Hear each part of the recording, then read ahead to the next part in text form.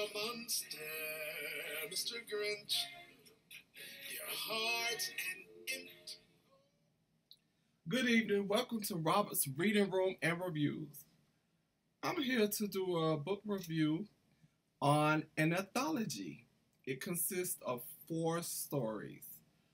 One of the author was at the Atlanta Kickback back in July of this year. I met her and I bought this book.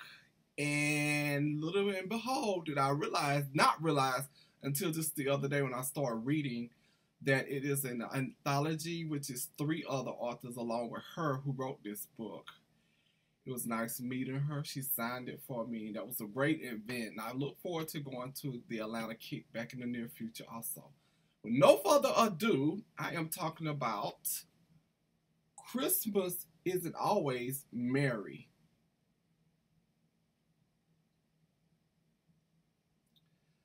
And the author is Taylor Allen, Brandy Coxton, Deidre Lachey, and Shanika, Shakita Sommerville. I hope I pronounced y'all name right. If I don't, please charge it to my heart. I'm sorry.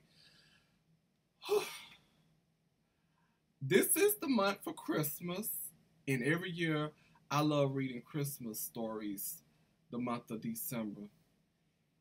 And when I picked this book up and I started reading, I thought it was just going to be the typical, you know, family who's struggling and probably don't have a lot to buy the kids for Christmas. And, you know, toward the end, they get a blessing.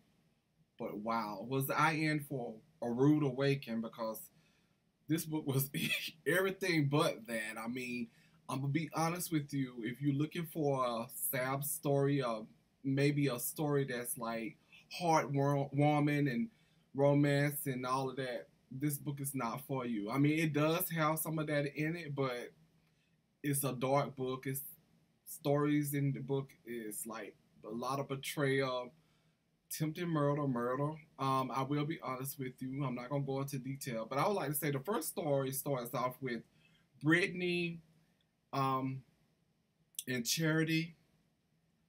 Their best friend. Brittany's Charity's best friend, and Charity is a a victim in this book because her boyfriend is like beating her. I mean, he's very abusive. He's on cocaine. His name is Aaron, and he basically keep her hostage. He don't want her going anywhere without him knowing. Even to the bathroom, she pretty much have to ask. And Brittany is um, Charity's best friend, and Brittany goes boyfriend is Charity's brother. So Charity gets Brittany to promise that she won't tell that, you know, because she finds out that she's been covering up the abuse and everything. She's want to go tell her brother so he can beat the brakes off of Aaron and get him straight and get her out of the situation. But Charity promised to keep, promise her, makes her promise not to tell her brother. She wants to do it after Christmas. I mean, I don't get that part because I'm like, when you want to do it before Christmas so you can have a nice Christmas. But anyway, it was a short story. Um, like I said, it's like it's an anthology. It's my first time doing a review for anthology on my YouTube channel, so bear with me. And I just want to say the ending, I it was kind of like a cliffhanger because I would like to know more, what happened to Aaron, whatever, and more about the situation. And then you go into the second story. Oh my, you you dealing with um at first I felt sorry for her. She gets pregnant by her boyfriend, which his name is Kareem, and he's a basketball star. He goes out to college, and she makes it seem like he's, you know, messing around on here with other girls, college girls, while she at home taking care of their baby girl, which was named Christmas.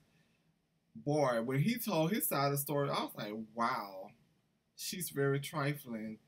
I just want to say this story was really like tense for me because I was like, mm, Kareem, his mother is gonna get do something to her. That's all I'm gonna say about that one.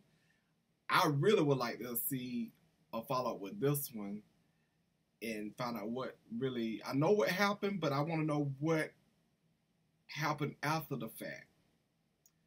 And then the third story, you have Vera, you have Rich, and you have Misha, where Vera and Rich meets, and Rich falls in love with Vera, but during the time he met her, he started messing with Misha, and they was having the bomb sex, I guess you could say it that way, and um, they pretty much, you know, she pretty much fell for him. Um, Misha did.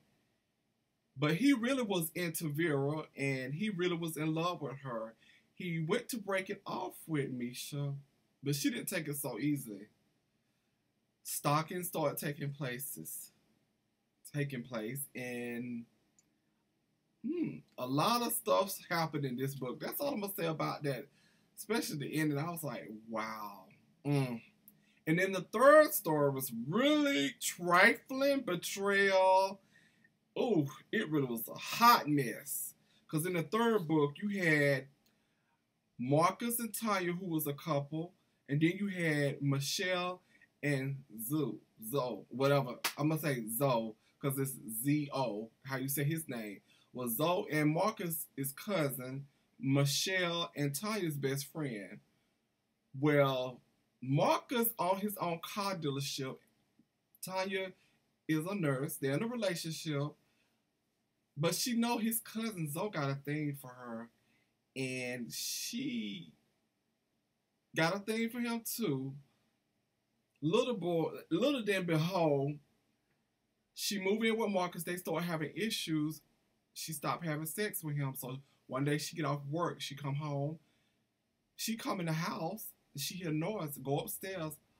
Michelle is having sex with her man. And when I say the ultimate, when they say a woman's scorn and the ultimate betrayal went down at the Christmas family dinner that day, wow, that's all I'm to say about that. But what I do take away from all of these stories is that you know, it's time. some certain Christmas I feel I ain't gonna say I'm grateful because I'm always grateful, but complain I felt this way or that way due to losing my mom and my grandmom. I missed them this time around of the year a lot.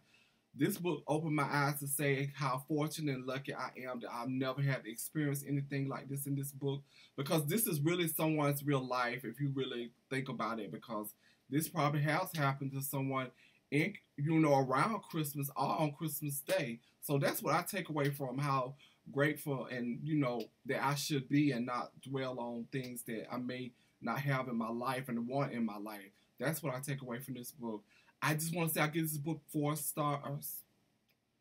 And I wish I could have give it five. The only reason I give it four is because of a few typos. I am going to Amazon um, just in a minute and type my um, my review up. But my video review, I give four stars, and I give it four stars on my Amazon written review because it was a couple typos for it to be such a short book, and it consists of, of 169 pages. And again, if you're interested, it is called Christmas Isn't Always Merry, and it's an anthology. It's four short stories. It's on Amazon and on ebook if you would like to check it out. It's $1.99. I just saw it myself. I'm not going to say goodbye. I'm just going to say until the next Christmas story I deliver to you. Have a great weekend. Thanks for all who watch. Thanks for subscribing to Robert's Reading Room of Reviews. And if you haven't, please do.